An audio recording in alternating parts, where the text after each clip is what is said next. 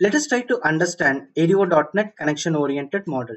Whenever we use this model, then the connectivity between the application and the database has to be maintained continuously as long as the application interacts with the database.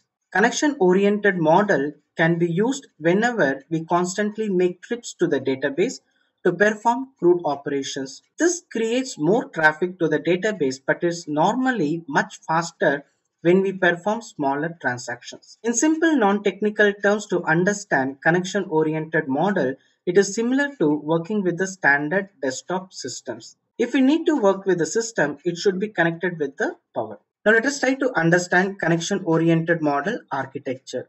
Say we have an application and it has to interact with the database using connection-oriented model. Then we have been provided with managed data providers.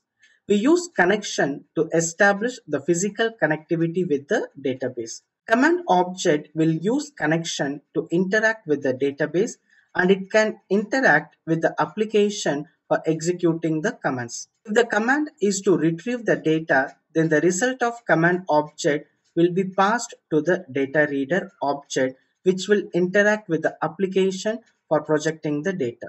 Data reader object maintains the records retrieved by the command object and this object is a read-only and forward-only record set.